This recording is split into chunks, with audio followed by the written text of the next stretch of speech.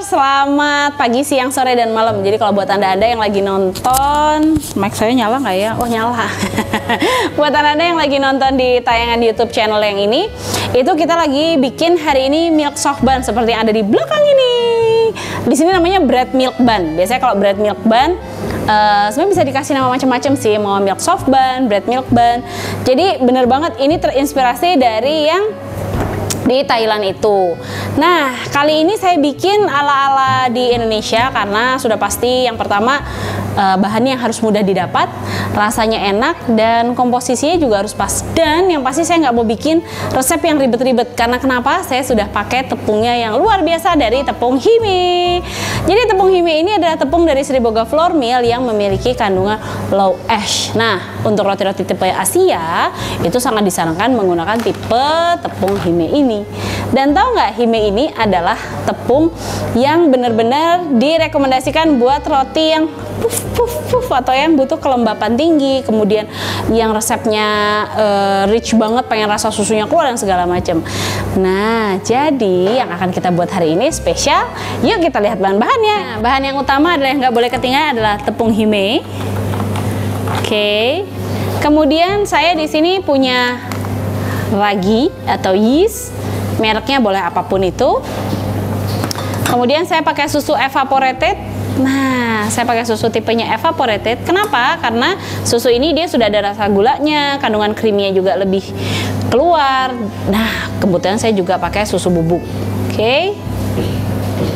Kemudian ini saya pakai butter. Jadi kalau Anda mau harganya wow, rasanya enak itu mesti disuggest pakai butter. Tapi kalau anda nggak mau pakai butter, pengen agak low cost, boleh pakai butter mix margarin. Merek bisa apa pun. Atau kalau anda mau murah banget, boleh pakai margarin juga. Gula pasir, garam, oke, okay. dan kalau Anda pakai uh, tepung hime sebenarnya pelembut tidak perlu digunakan. Jadi improver tidak perlu digunakan karena dia sudah lembut banget tepungnya. Apalagi milk soft bun itu karakternya lembut banget. Ini jadi nanti akan saya skip.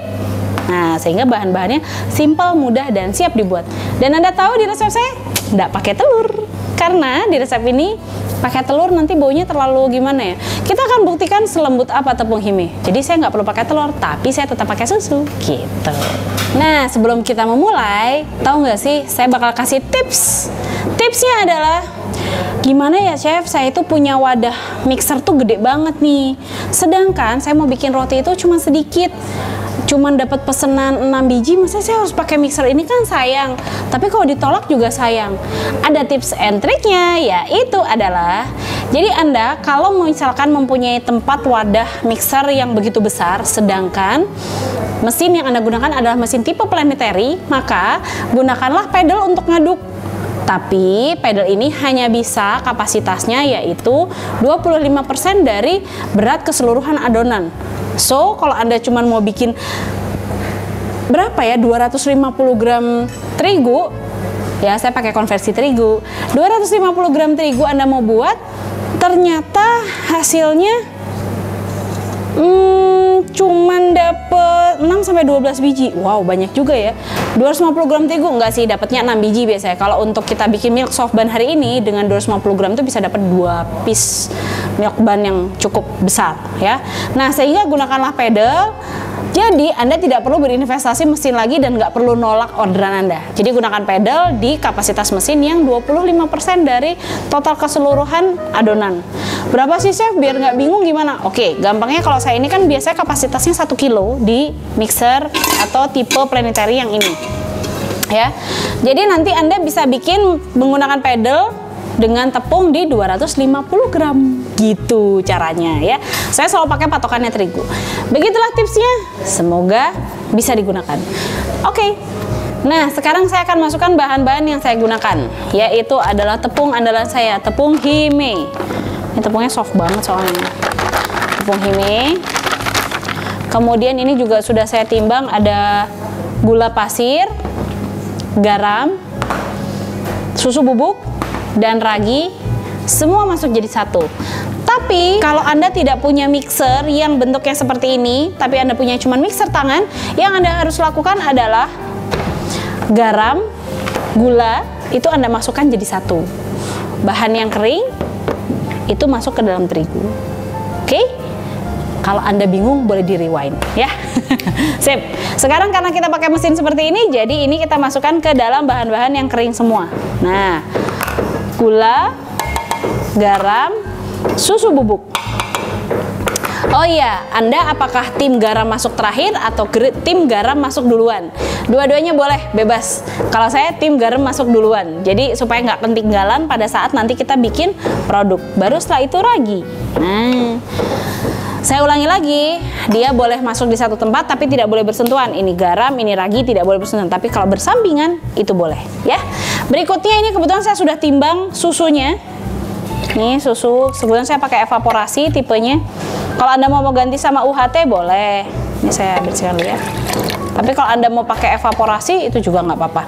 Ini kebetulan saya pakai evaporasi supaya lebih creamy lagi. Udah pakai susu bubuk, pakai evaporasi, rasanya juga lebih oke.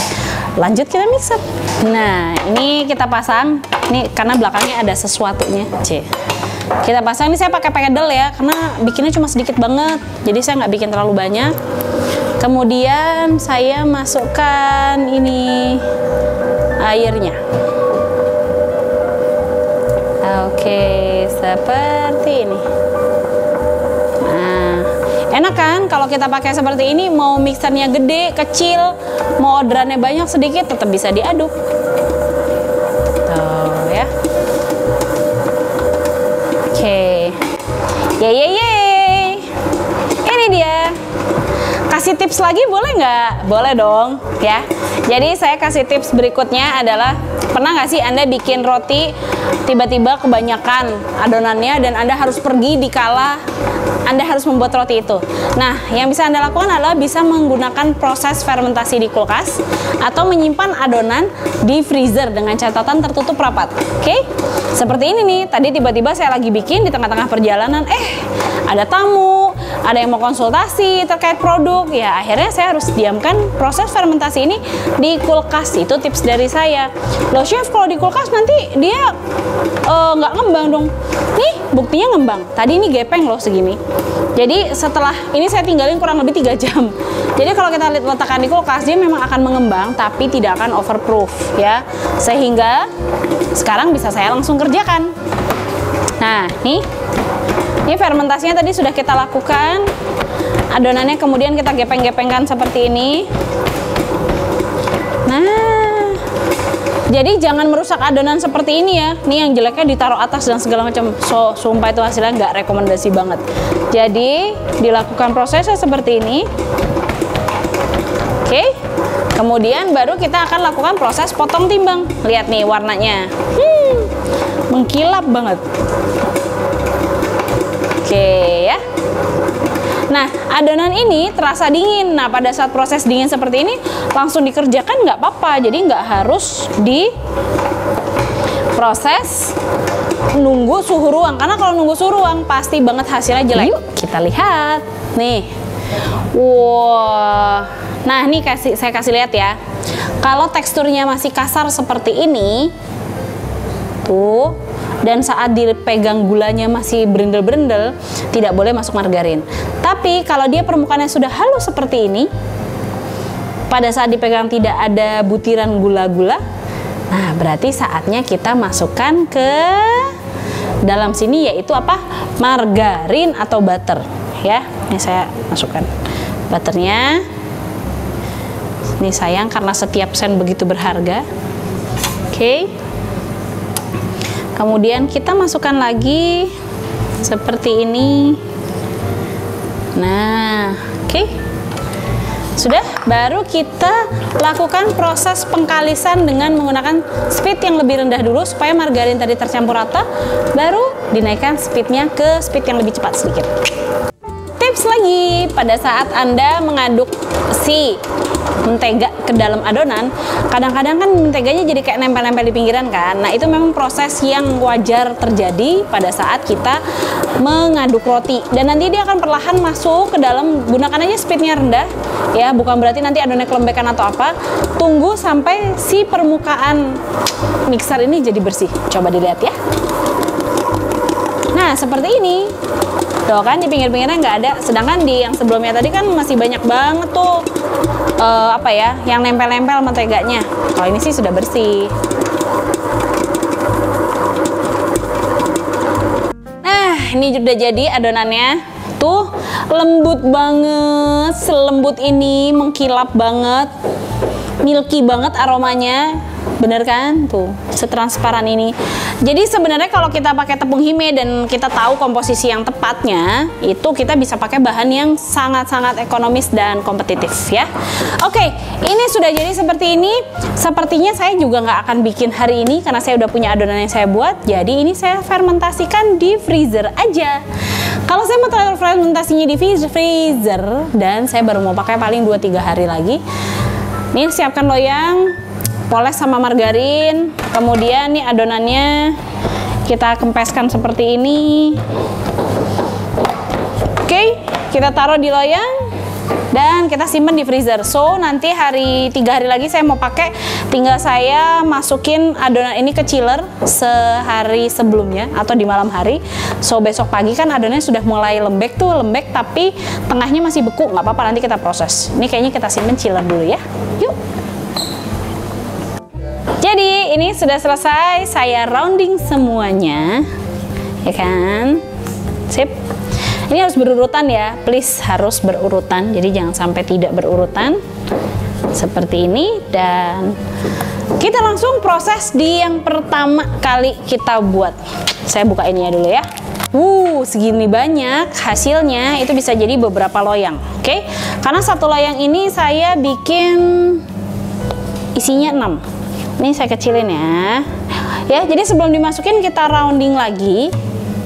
Oke kita rounding lagi. Kempesin terus kita rounding seperti ini lagi. Oke okay. kempes. Kita rounding lagi. Nah oke seperti ini.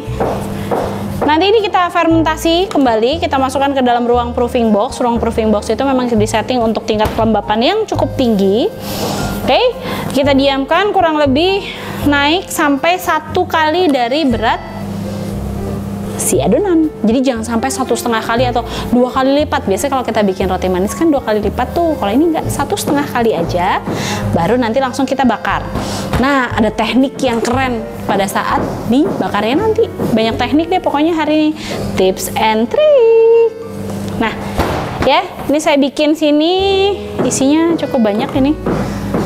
Oh iya, by the way, ini saya bikin sekarang tadi setelah saya tanyakan ke tim saya itu ternyata saya ngaduknya lima setengah kilo, 500 gram terigu dengan berat adonan ini saya bikin masing-masing adanya di 18 gram. Oke, seperti ini. Nah, nah, nih jadi deh sip. Oke, Berarti saya masih punya sisa satu, dua, tiga, empat, empat tambah tiga, tujuh loyang. Dengan setengah kilo jadi tujuh loyang. Dengan berat 18 gram masing-masing seperti ini. Kalau sudah kita langsung taruh di ruangan proofing box. Kalau anda nggak punya proofing box anda boleh letakkan produk ini di mana diletakkan di meja saja ditutup dengan plastik. Tapi ingat tipsnya per setengah jam harus anda semprot pakai semprotan yang seperti mana ya semprotannya yang semprotan buat muka gitu. Yang semprotan kecil seperti ini ya jadi anda bisa gunakan semprotan seperti ini per setengah jam sekali semprot kemudian anda tutup dengan plastik. Nggak usah plastik wrap plastik biasa aja. Atau dengan semprotan yang seperti ini. Ini biasanya saya gunakan untuk bikin croissant atau enggak untuk bikin kue-kue atau roti sorry roti-roti yang tidak punya proofer jadi saya bisa gunakan ini atau alat yang tadi. Langsung kita masukin ke proofer aja kalau ini. Kalau anda punya proofer setting humidity-nya di 80 derajat. Kalau untuk termometernya saya biasanya pakainya 0 sih Nah, proofing boxnya usahakan ini tetesan airnya jangan besar-besar. Tetesan airnya harus kecil-kecil-kecil. Karena kalau terlalu besar nanti ini kalau beruap sekali kayak gini sebaiknya jangan. Karena kalau terlalu beruap nantinya adonannya dia jadi lebih lembek. ada sih tips khusus untuk nanti ngomongin proofing box. Biasanya semakin keras adonannya, proofernya biasanya semakin lembab. Tapi semakin lembek adonannya, proofernya biasanya sedikit lebih kering. Tapi nggak kering banget ya. Intinya titik-titiknya ini nih airnya itu harus kecil-kecil sekali. Kalau udah ada besar-besar gini berarti harus kita kecilkan. Oke, selesai. Satu tips lagi saya akan kasih kalau menggunakan loyang yang ukurannya besar. Nah, kalau Anda gunakan loyang seperti ini, ini Anda bisa buat sekaligus ya. Atau Anda gunakan loyang yang tadi saya sebelumnya bilang yang warna hitam. Itu kita bisa bikin sekaligus. Nanti kalau sudah matang tinggal dipotong baru ditaruh-taruh di wadah yang kita mau gitu ya. Karena kenapa? Kalau misalkan kita ngikutin uh, loyang yang sudah ada kadang-kadang kan nggak pas ya. Nah, jadi ini kita lakukan prosesnya menggunakan loyang seperti nah jaraknya seperti ini cukup rapat kalau bisa dilihat. Oke, jaraknya sedekat itu antar loyang. Dan ini juga tips and trick buat kita bikin roti unyil, ya. Kenapa kok deket-deket gini sih? Supaya nanti dia mengembangnya ke atas bukan ke samping dan biasanya dia lebih lembab hasil rotinya. Oke. Ini saya buat seperti ini.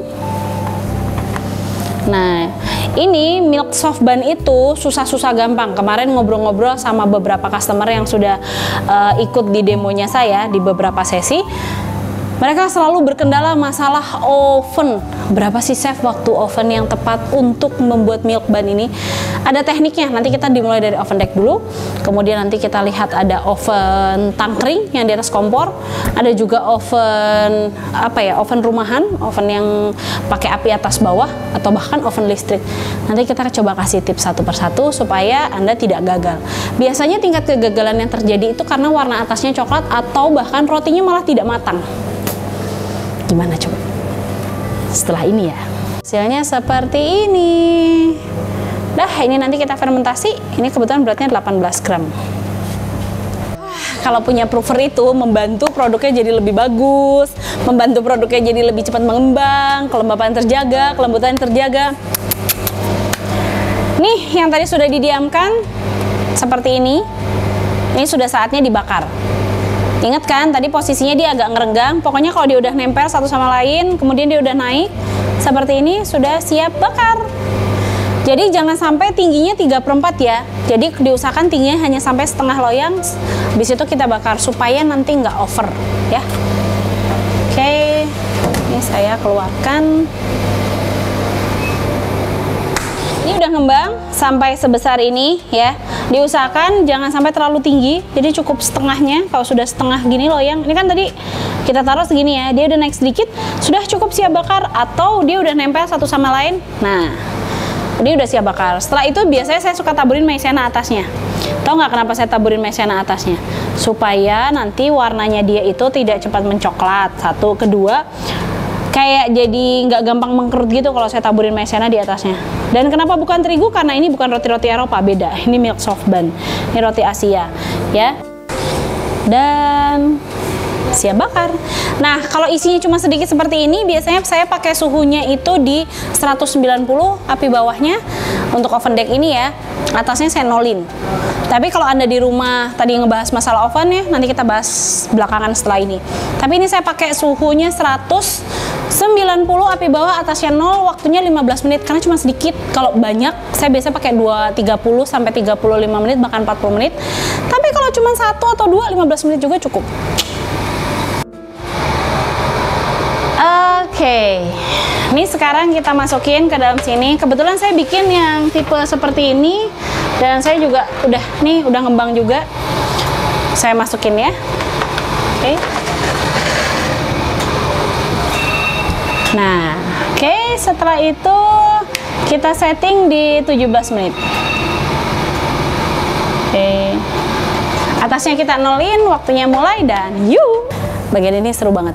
Jadi uh, nanti di, di kolom description saya kasih resep flat tanpa telur. Tapi kalau misalkan anda mau, saya punya video terpisah di Tanya Video itu resep flat tanpa telur. Jadi saya pakai itu untuk resep milk bun ini. Satu sisi kenapa? Karena supaya dia nggak cepat basi. Yang kedua juga uh, rasanya bisa kita atur lebih vanilanya lebih kuat, lebih manis, kurang manis dan enggak. Tapi kalau anda nggak mau ribet, anda juga bisa nih pakai uh, fly instan yang sudah jadi ya.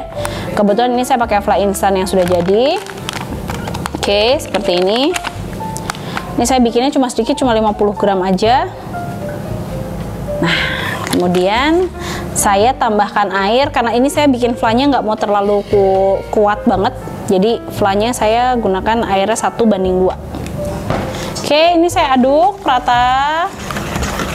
Kemudian saya kocok aja. Nah, seperti ini.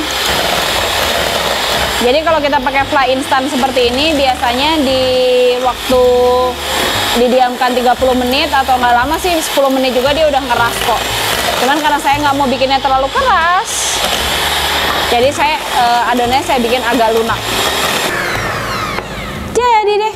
Jadi kalau pakai fly instan itu enaknya ngaduknya cepet, rasanya udah jelas dan ini saya gunakan air, tidak gunakan susu supaya dia rasanya lebih balancing karena nanti saya bakal tambahkan krim ya untuk dia bikin lebih creamy lagi untuk whipping cream ya. Segini kayaknya kurang, kita tambahin aja yuk. Ya. Oh, saya mau tunjukin nih. Dalam waktu sekian menit dia juga udah ngeset kok. Jadi ini flanya tadi tuh. Ya, fly instannya sudah jadi. Kayaknya saya akan bikin lebih encer jadi saya mau tambahkan uh, air lagi.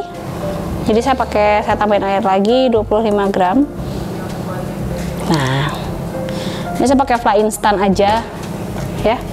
Kemudian chef harus dikocok nggak flanya uh, kalau saya biar cepet dan biar rata sih saya kocok aja. Tapi kalau anda nggak mau ngocok juga nggak apa-apa. Bisa kok diaduk gitu aja. Sip ya sudah jadi. Nah seperti ini. Oke ini saya taruh flanya saya pindahkan wadahnya. Sekarang saya mau ngocok krimnya. Chef itu wadahnya uh, bekas fla nggak apa-apa?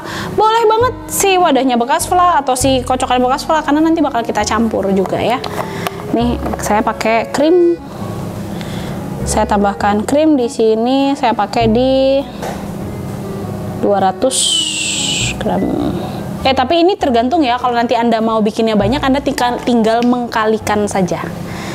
Gitu ya. Oke. Okay. saya kocok dan ini saya pilihnya krimnya memang yang tasteless jadi nggak ada rasa.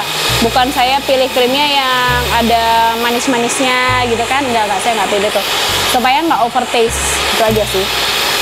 Ya kalau untuk merek anda boleh sesuka hati anda mau merek yang mana aja. Yang jelas saya pakainya tipenya adalah whipping cream biasanya dipakai untuk cooking cream atau kita kadang-kadang menyebutnya sebagai fresh cream gitu ya ini kebetulan saya pakai yang ini kita kocok sampai dia benar-benar mengembang setelah nanti dia mengembang baru kita campurkan dengan flah jadi krim yang anda buat itu nanti rasanya nggak overtaste jadi nggak terlalu manis nggak terlalu kuat rasanya juga tapi creaminya masih dapat nah itu yang kita butuhkan ya Oke, okay? walaupun namanya milk soft bun, nggak berarti semuanya serba susu dan overtaste. Tapi yang kita harapkan adalah rasanya nyaman banget di mulut. Apalagi pada saat kita gigit nggak ngaret.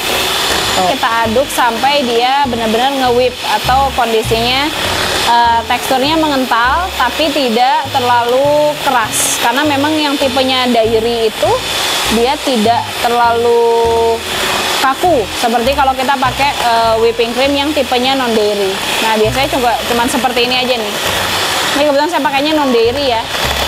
Eh sorry pakainya yang tipenya dairy cuma sampai seperti ini aja nih krimnya nih kita kocok nih ya. Tuh. Seperti ini krimnya kita kocok. Jatuh tapi tidak jatuh banget.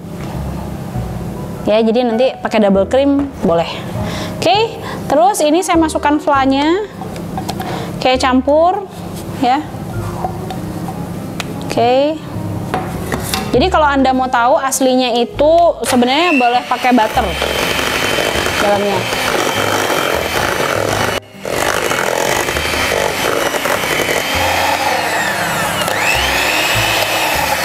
Nah ini seperti ini, sudah jadi deh. Tuh kan? Sudah jadi flanya nah ini yang kita pakai nanti di dalam. Mau dicoba nggak? Hmm. enak. Mau lagi ini rasanya nggak begitu manis apalagi nanti digabung sama rotinya yang manis. Huh, rasanya wow banget. Jadi sebenarnya resepnya sesimpel ini sih. Tuh ya kan? Dalamnya oh kalau mau warnanya lebih tua lebih kuning lagi biasanya pakainya tipenya custard. Jadi custard yang kalau diaduk warnanya sudah lebih tua. Oke. Okay. nah berikutnya kayaknya saya mau bikin lagi yang warna-warna deh. Anda tahu nggak kalau kita bisa juga bikin dari yang warna-warna? Kayaknya saya mau bikinnya ada apa ya? Oh. Ada stroberi juga ya? Nah kebetulan saya udah pakai yang seperti ini aja nih. Jadi udah jadi. Nih seperti ini. Kita bikin buat isiannya milk bun. Variannya sebenarnya ada dua sih. Ada yang red velvet sama taruh kemudian tapi kayaknya saya mau pakai yang tipenya. Gimana kalau kita coba maca? Coba maca. Enggak deng kamu maunya apa? Mau yang taruh taruh taruh taruh taruh ya? Red velvet red velvet. Dua-duanya. Taruh aja deh red velvet aja deh red velvet deh. Yuk kita bikin yang red velvet tipenya. Oke saya ambil ini 100 gram. Saya kasih 100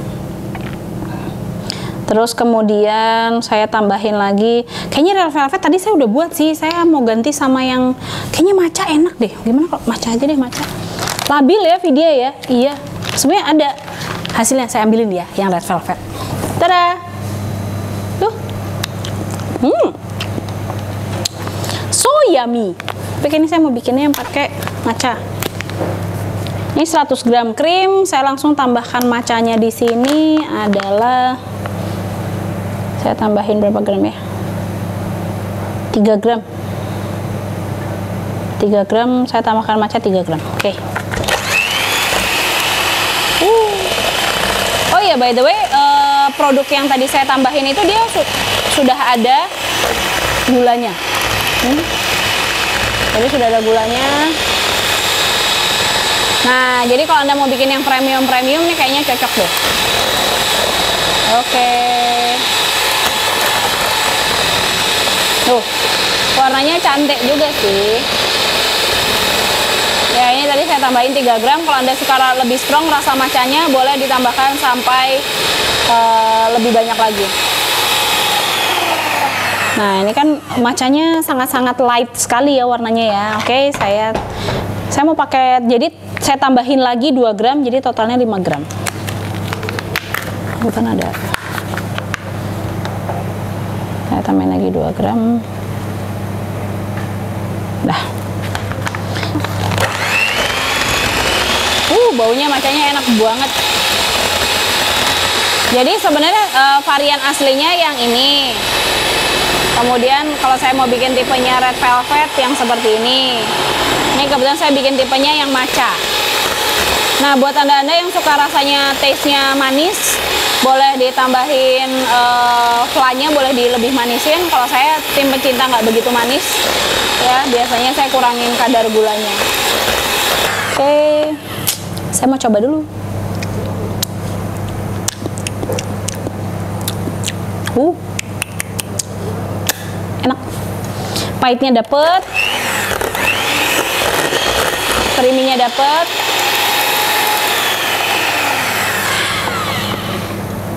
matcha, red velvet, dan yang ori, ori yang seperti ini. Ya. Tuh, taste-nya seperti itu dan selesai deh kita lihat yang di oven sudah bunyi. Nah, seperti ini hasilnya. Uh, panas, panas, panas, panas.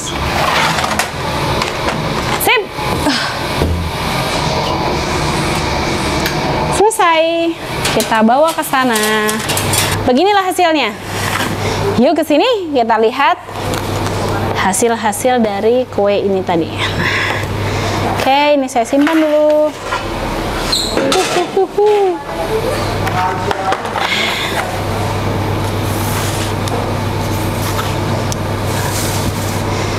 Jadi beginilah hasilnya. Nih soft banget tuh. Permukaannya juga bagus dia ya tidak mengkerut soft banget bagian bawahnya agak kecoklatan nanti kita buka. Terus kemudian ini tunggu dingin setelah dingin baru nanti kita gunting kita injek atau kita isi dengan filling yang tadi kita udah buat ya. Kita isi kemudian nanti kita kasih permukaannya ini dengan topping krim. Beres itu taburi dengan gula dusting baru susu bubuk. Selesai deh. Oke jadi ini tadi krim-krim yang sudah saya buat nah kita sekarang bikin uh, isian-isian oke jadi caranya yang pertama adalah ini kita gunting ini kita gunting bagian dalamnya kita gunting oke angin ya Oke, nah seperti ini. Kalau sudah isiannya kita masukkan. Kita pakai isian yang original dulu. Ini kita masukkan seperti ini. Nah, oh iya, Anda takutnya eh, nggak e, tahu kan berapa gramasinya. Jadi kita taruhnya di atas timbangan. Prosesnya. Kemudian kita masukkan saja. Udah ya, nol ya. Oke.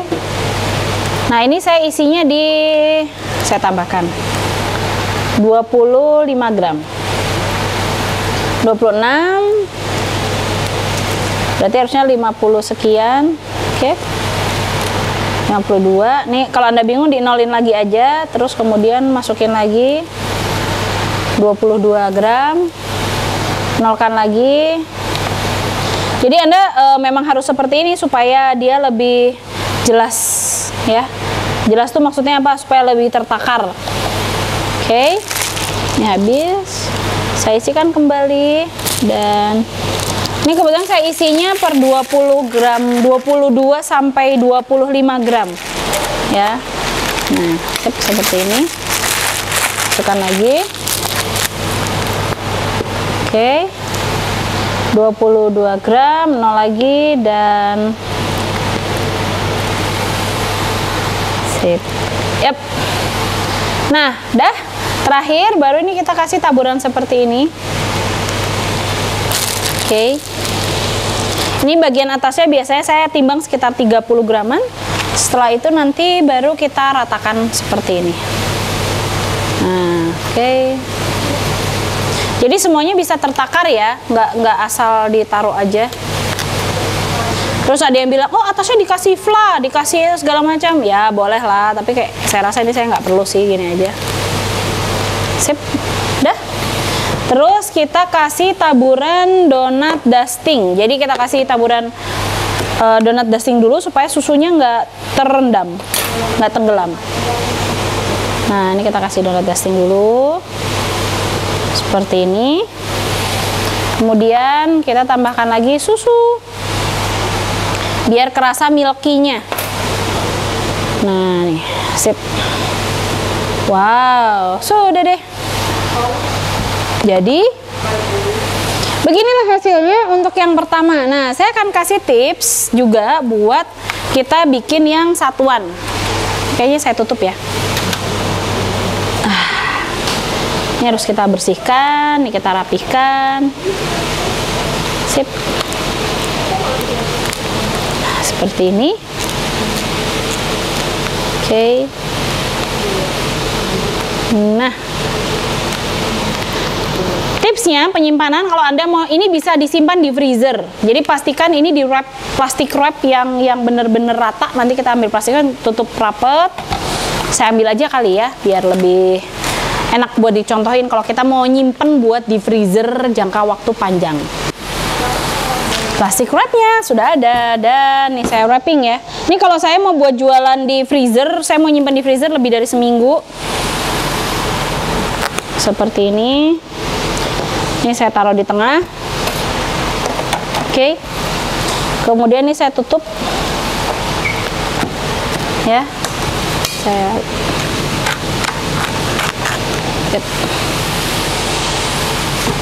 udah. Biasanya saya lakukan proses seperti ini. Nih kanan kirinya saya tarik. Nah.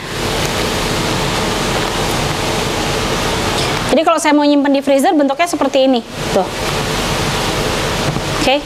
simpan di freezer sebulan bisa Kalau mau nggak sebulan ya, biasanya seminggu atau dua minggu boleh. Jadi kita bisa nyetok, nanti ini dikeluarkan, dikirim ke konsumen dalam kondisi beku, sehingga pada saat nanti di perjalanan dia akan towing atau suhunya akan naik dengan sendirinya. Jadi nanti dalamnya nggak akan beku. Nah, saya menyimpannya seperti ini. Jadi kalau menyimpan di dalam kulkas lebih lama boleh. Sekarang tipsnya kalau Anda bikin yang satuan model seperti ini. Gimana dong chef? Kan modelnya satuan. Iya, kalau yang sebesar ini berarti ini kita gunting aja di sini. Nanti kita isi. Ini kita taruh di sini satu.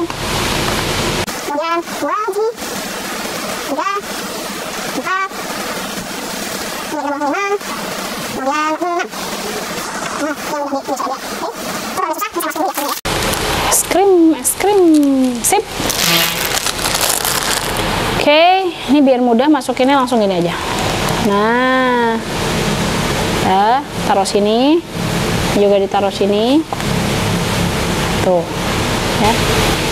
Oke, baru tinggal Anda timbang yang terakhir, toppingnya 30 gram. Pas. Terus kemudian Anda ratakan. Nah, seperti ini Anda ratakan.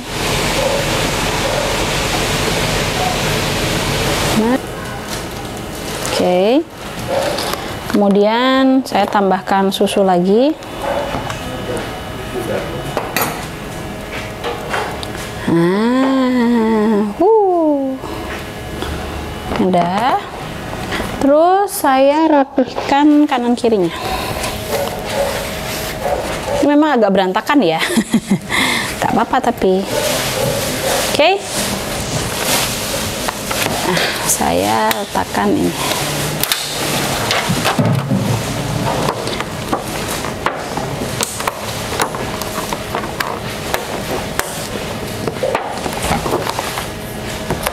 ada cuci tangan ya mari kita coba ini yang satuan tadi nih Hmm. Kita coba ya.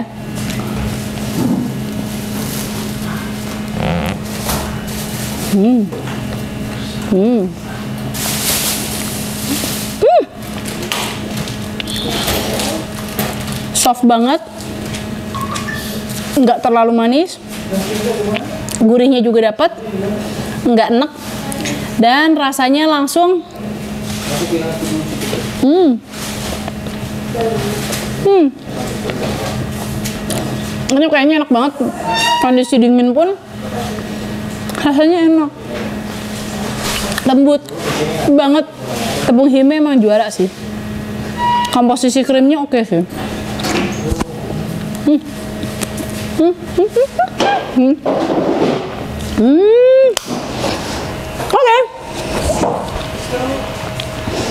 Hmm. Yes. Begitu saja. nah, maaf saya harus mm, ini sebelum kameramen saya mengil, me, me, mengi, mengi, mengi, gitu ya. Oke, Bengi Lover, terima kasih buat tayangan YouTube yang kali ini. Ini ada milk bun ala saya dengan tepung hime dengan resep yang lebih mudah, metode yang lebih mudah. Memang banyak banget tips and triknya. Balik lagi, kualitas terigunya sudah oke. Kenapa Anda harus memilih yang lain? Bukan begitu?